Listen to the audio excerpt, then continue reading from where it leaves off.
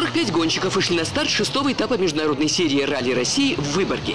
Дистанция этапов 250 километров разбита на 15 скоростных участков. По итогам первого дня лидерство захватил прошлогодний победитель ралли Юха Хянинин на «Шкоде», выигравший все четыре спецучастка.